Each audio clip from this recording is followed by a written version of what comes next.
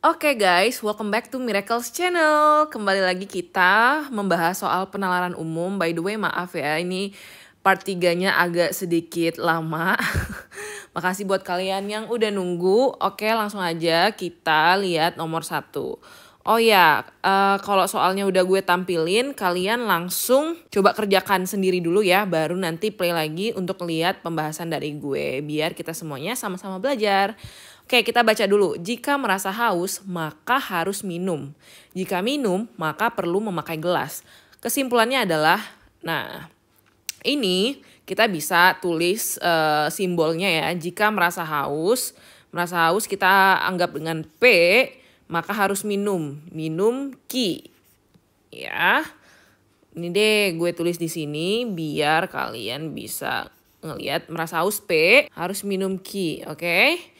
Premis yang kedua, jika minum maka perlu memakai gelas. Minum tadi ki ya. Ki maka perlu memakai gelas kita pakai simbol baru R gitu. Kesimpulannya adalah nah, sab. Kesimpulannya ini kan bisa dicoret. Kenapa bisa dicoret? Karena sama gitu. Gini deh, contohnya ya gue bilang gini. Jika hujan maka basah. Jika basah maka gue nggak sekolah. Jadi jika hujan maka gue nggak sekolah gitu kan. Kalau sama ya udah berarti kesimpulannya P maka R gitu.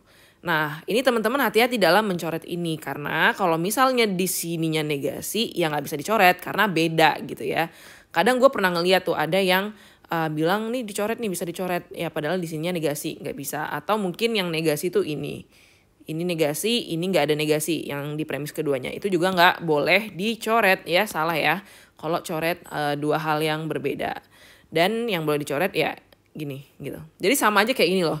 P maka Q, Q maka R ya kan. Berarti kesimpulannya apa? P maka R gitu. Jadi dia memang sama dan arahnya juga sama ke kanan. Nih ke kanan Q maka P maka Q ke kanan, Q maka R ke kanan. Jadi makanya bisa langsung uh, dicoret Q-nya. Kesimpulannya P maka R gitu. Oke. Okay? PMKR ini apa? Jika merasa haus, maka perlu memakai gelas. Nah, kita lihat opsinya yang A sama B udah pasti salah. Kenapa? Karena ini kan berarti semua ya. Kalau ada kata-kata jika memakai gelas. Ini kesimpulannya ya. Jika merasa haus maka perlu memakai gelas. Ini berarti semua yang merasa haus memakai gelas gitu. Jadi kalau ada kata-kata sebagian nih kayak gini nih udah pasti salah ya. Karena di premis juga nggak ada kata sebagian. Jadi A dan B itu invalid, salah. Yang C, semua yang memakai gelas tentu haus. Enggak, belum tentu. Tapi yang dipastikan adalah jika merasa haus, maka memakai gelas gitu. Semua yang haus memakai gelas. Jawabannya yang E. Nah, Gitu. Yang D lebih salah lagi ya. Semua yang memakai gelas tidak haus. Salah. Yang C itu nggak ekivalen ya dengan E. Kadang masih ada yang suka ngiranya sama gitu. P maka R alias yang E ya, ini opsi E. Itu nggak sama dengan R maka P. R maka P itu kan yang C ya. Semua yang memakai gelas pasti haus. Nah, ini itu nggak ekivalen, beda. Ini beda ya. Jadi jawabannya yang E gitu. Gampang kan makanya. Lanjut nomor 2. Nomor 2 ini mirip-mirip lah sama nomor uh, satu tadi. Tapi bedanya nomor satu tadi cuma ada dua premis, sekarang ada tiga premis. Tapi tetap gampang karena tinggal kayak dicoret-coret gitu. Oke, kita lihat dari premis satu. Jika Raymond tidak pergi maka Raymond tidak marah. Tidak pergi ini kita misalkan dengan P ya. P tidak marah, marahnya itu kalau ki berarti tidak marah negasi ki gitu. P2-nya apa? Jika Raymond pergi, maka Raymond senang. Raymond uh, oh sorry, uh, P1-nya Raymond tidak pergi tadi ya, berarti negasi P maka negasi ki. Pergi itu kita misalkan dengan P, gue tulis ya.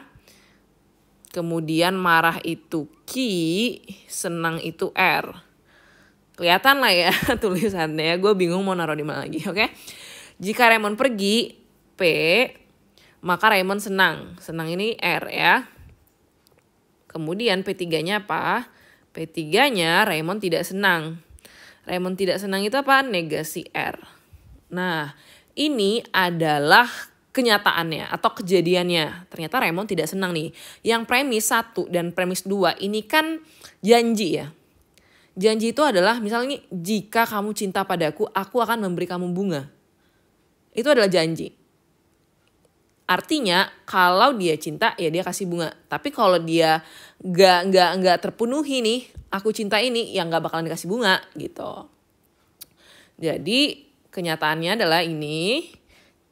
Kemudian kita mengacu pada dua premis acuan ini, dua premis uh, ya yang jika makanya ini gitu. Ternyata negasi R nih, berarti apa nih gitu ya. Nah Kalian ingat gak sih P maka Q itu ekuivalen dengan negasi Q maka negasi P. Ini ya, inget ya. Ini rumusnya dari mana? Gue udah pernah jelasin di video part 1 atau part 2. Pokoknya kalian cek aja. Ini bukan hafalan ya. Ini bisa uh, dinalarin dengan kata-kata. Tapi nggak bakalan gue bahas di sini karena udah gue bahas di video sebelumnya.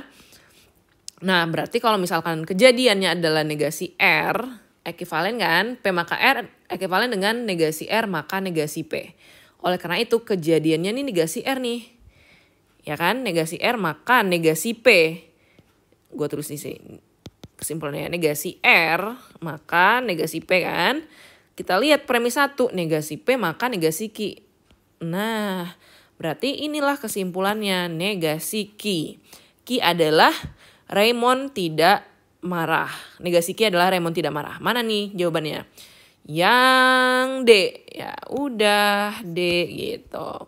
Nah, tapi sebenarnya juga bisa kesimpulannya yang negasi P. Negasi P sebenarnya juga benar. Tapi kalau ada dua pilihan kayak gini, kita lihat yang paling ujung. Yang paling ujung itu adalah nih, paling ujung di kesimpulan ini adalah negasi Q kan. Oleh karena itu pilihnya yang D. Raymond tidak marah gitu. Tapi misalnya ini nih nggak ada nih opsi ini, ya jawabannya yang A. Raymond tidak pergi, ini loh negasi P. Gitu, oke? Paham ya kenapa jawabannya D? Sebenarnya yang A juga valid, tetapi yang D itu lebih uh, tepat karena ada lagi kesimpulan yang di ujungnya gitu. Oke, gampang ya. Kita lanjutkan nomor tiga. Nomor tiga ini tuh gampang banget. By the way, ini semuanya soalnya ini gue dapat dari kalian yang DM di Instagram. Jadi kalau kalian mau tanya soal penalaran umum langsung aja DM ke Instagram at Miracle Sitompul. Ada linknya di bio, oke? Okay? Eh, kok di bio? Di description box di bawah. Cek aja ya, di follow ya, oke? Okay? Nah, ini uh, yang DM gue, dia nanya, Kak gimana cara gambar diagram fan-nya gitu ya. Wah, ini sih ahlinya Miracle, cia, bercanda. Diagram itu gampang banget guys digambar. Yang pertama kita harus baca dulu premisnya ya udah jelas. Nah ini ya tips buat teman-teman.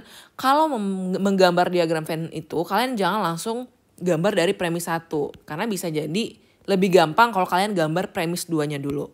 Sebenarnya sama aja, cuman lebih memudahkan ya. Kita lihat premis satu, semua tentara adalah profesional. Premis dua, semua penghuni tenda adalah tentara. Berarti kan penghuni tenda ini lingkarannya di dalam lingkaran yang tentara gitu kan. Nah, kalau misalkan kalian dari premis satu nih ya, kalian baca terus langsung kalian gambar, semua tentara adalah profesional. And then kalian baca premis dua, semua penghuni tenda adalah tentara. Ya, kecil banget gitu. Itu maksud gue kenapa kalian harus baca semuanya untuk memudahkan. Tapi baca cepet aja gitu ya. Oke, gue gambar ulang lagi yang bagus ya. Dari premis 2 dulu. Semua penghuni tenda adalah tentara. Premis 1, semua tentara adalah profesional.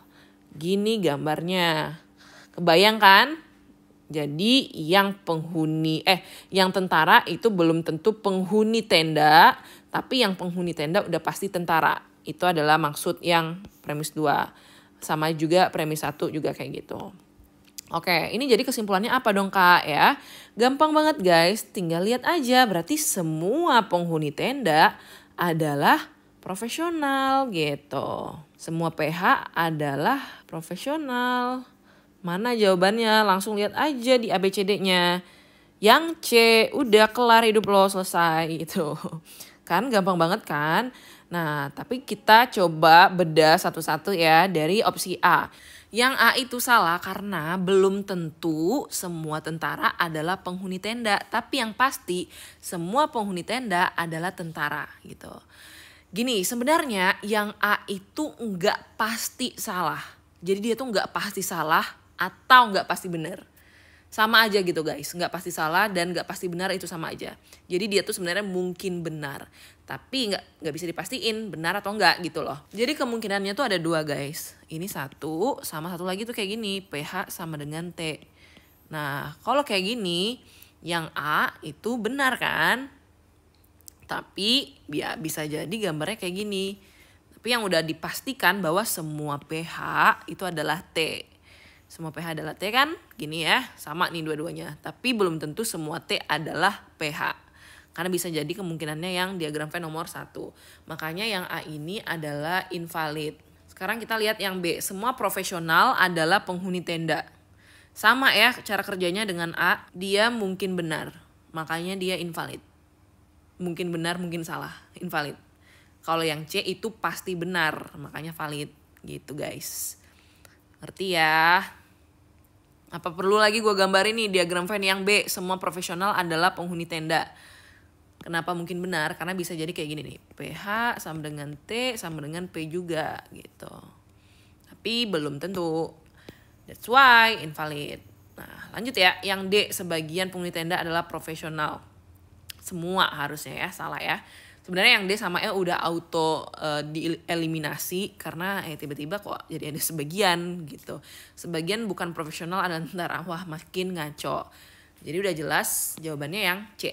Alright, lanjut nomor 4. Terakhir guys, number 4. Number 4 ini gampang banget pastinya dan ini adalah soal esai ya. Jadi ini bukan pilihan A atau B, jadi kita harus menentukan A itu valid gak ya, B itu valid gak ya. Oke, kita lihat premisnya. Ada ikan yang gang ganggur, ada ikan yang nganggur, ada yang nganggur yang adalah motor. By the way ini tanda bacanya kurang ya. Kita kasih titik guys, biar jelas. Nah gitu ya, jadi premis satunya ada ikan yang nganggur. Premis duanya ada yang nganggur yang adalah motor. Oke, kita lihat uh, yang soal yang A ada ikan yang adalah motor. Gimana kira-kira valid atau invalid nih? Ada ikan yang adalah motor. Invalid. Kenapa? Ada ikan nganggur. Ada yang nganggur yang ada motor. Yang adalah motor. Berarti kan premis dua ini sama dengan ada motor nganggur ya kan? Nah, apakah dari dua premis ini mengindikasikan bahwa ada ikan yang adalah motor. Kan kagak gitu loh. Kayak ibaratnya lo ngomong kayak gini ada guru yang pinter terus ada monyet yang pinter. Apakah ada monyet yang guru atau ada guru yang monyet? Kan belum tentu gitu. We don't know. That's why invalid yang dikasih tahu di sini adalah ya cuman ini doang, ada ikan nganggur. Oke, ada motor nganggur. Kecuali kecuali nih bentuknya semua ikan semua ikan, semua ikan nganggur, ikan nganggur, semua yang nganggur motor. Nah, berarti semua ikan adalah motor gitu. Tapi kan di sini ada. That's why yang A itu invalid gitu.